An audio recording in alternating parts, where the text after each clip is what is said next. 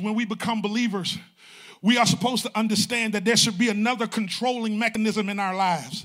There should be something else that takes the driver's seat, and that is our spirit, which is where our communion exists. Mm-hmm. It's where our intuition exists, it's where our consciousness exists, especially if it is the Holy Spirit that's leading and driving your life. Most of us live according to what we feel, and everything is based upon how it makes us feel.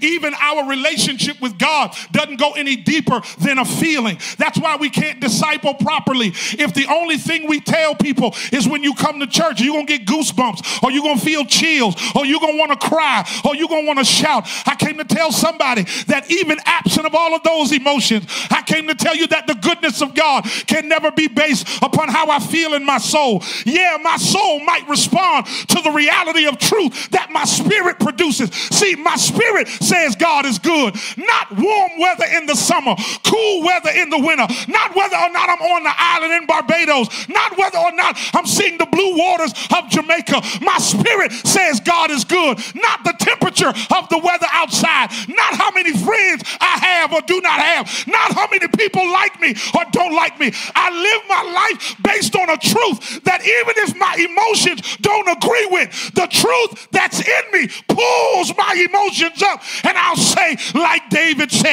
where can I go from your presence? Where can I flee from your presence? If I make my bed in heaven, thou art there. If I make my bed in hell, thou art there. The goodness of God has got to get out of my feelings and start becoming a part of my spiritual disposition.